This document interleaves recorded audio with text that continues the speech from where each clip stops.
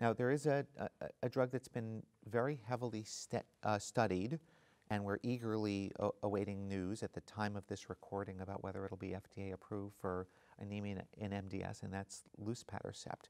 Now, uh, again, Rami, you were instrumental in the development of this class of drugs here in the U.S. Um, do you want to comment on the Medalist study and um, and uh, the, the, results and, and where you feel like it fits into our the treatments we've discussed? Sure, absolutely. So uh, again, I think uh, as you mentioned, like there is excitement that hopefully we'll have the next drug in MDS approved for our patients. We didn't have any since uh, like 10 years approval of LEN probably. So it's really hopefully something that's going to be helpful for the patients. You were part of the studies as well. Uh, so, so those agents, luspatercept, uh, they, they are termed now as erythroid maturating agents. They they work on you know terminal erythroid differentiation. What they are, they are like fusion trap proteins that will neutralize the ligands of TGF beta pathway that ended to be important in MDS being overactivated, contributing to cytopenia. And some of those ligands, like namely GDF11, seems to be negative regulators of terminal erythroid differentiation. So those drugs will neutralize that. Uh, originally, they were tested in healthy volunteers toxicity was erythrocytosis, which is very welcomed in MDS, right? So we tried to get it. you for that right. And, and, the study went through, like, in, in our colleagues in Germany conducted the original phase one, phase two study. In, in those, there was like a signal that responses may be higher in patients with lower risk MDS uh, in ring sideroblast subtype. So the medalist study was designed to, you know, include that population. So those were lower risk MDS patients that had ring sideroblast that were transfusion dependent they randomized two to one fashion to get either luspatercept, uh, which is an injection every three weeks, subcutaneous, uh, versus placebo. And the primary endpoint was transfusion independence at 24 weeks, but they also looked at 48 weeks. And the results were positive. Uh, the transfusion independence rate were in the range of 30%, uh, 30 6, 37% probably with the luspatercept versus 13% in the placebo, going back to the point that you mentioned earlier, that sometimes our thresholds for transfusion change once we put patients on trials, or there could be other reasons for, for bleeding. But nonetheless, the study was positive in terms of transfusion independency. Uh, and the 48 weeks also the same. And interestingly, when you look at subset of patients that were not heavily transfusion dependent, less than four units every eight weeks, or those patients, you know, where we looked at objective response of hemoglobin increase of one and a half gram or more, uh, more than 50%, originally 69% of the patients in that population achieved the hemoglobin increase more than 1.5, which for me is always objective sign that it's not just transfusion reduction, that you are seeing, you know, some effect on the hematopoiesis. Um, the treatment is relatively well tolerated, fatigue, uh, uh, some general side effects, really no major, uh, you know, uh, side effect with it. Uh, at least so far, no signal of increased, you know, progression of M to MDS to high risk MDS or AML or fibrosis on the bone marrow at this year, I think we're going to hear the update uh, on, on the results, what's available in the abstract data that basically, when they looked all through the study, the responses were higher, obviously, like almost 48% of the patients achieved transfusion independent with luspatercept. And they used this principle of looking at different time periods of eight weeks or more, because some of the shortcomings of the response criteria, if you know that you, you, you record the longest duration of transfusion independence only one time.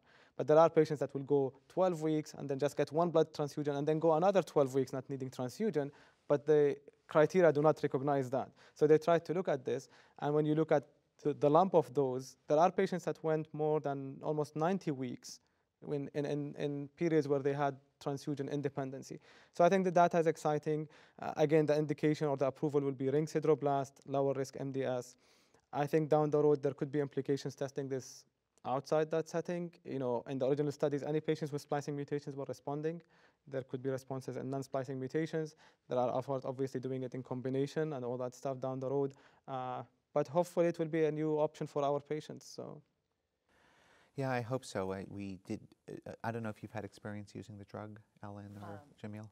No, I haven't. Not yet. It's. Not yet. I mean, it's it, it's a shot. It's every three weeks. Um, it was in patients who either um, stopped responding or didn't respond to an ESA or didn't really have a good chance of responding to an ESA who were transfusion dependent. So I would, I personally would envision this as starting an, an erythropoiesis stimulating agent like erythropoietin or darbepoetin first, um, and then when that stops working. It always stops working. When it stops working, or if it doesn't work, then trying luspatercept.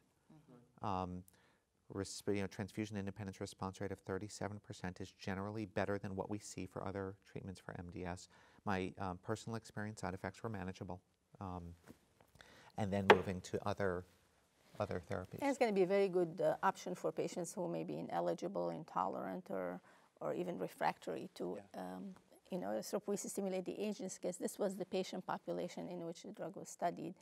On a different note, like with um, the, uh, some of the data that were presented uh, relative to mutational profiling and what is the difference between those who responded and didn't respond, I found it very interesting with the Platzbecker abstract that's uh, presented at ASH um, talking because obviously most of those patients had ring sideroblasts, so almost 90, over 90% had the SF3B1 mutation, and the variance allele frequency was rather high, like you're talking about 40%. So what was the difference between the two? And it seems as though the mutational profile didn't really matter between those who responded and those who didn't. And and and, and again, it's very interesting to see that uh, responses will occur irrespective of what you might find on NGS. Now, again, maybe long term will be a little bit more helpful in that sense, but uh, it's comforting to know. Right. Well, maybe just working on a completely different pathway than you know what we're we're looking for in the NGS you know sequencing. Maybe what's what's going on there. You know, uh, the NGS sequencing when I first started doing NGS sequencing was seven genes. Then it went to 14 genes. Then it went to you know then it went to 20 some genes. Now it's 40, then it went to 44 genes, and now our institutional panel is 55 genes. So, you know, we, we're not covering, you know, everything that we may need to know, and, you know, I'm expecting that 100 gene panel to be the next myeloid panel as we incorporate more mutations that might be involved in these pathways. which, which gives opportunities for therapy.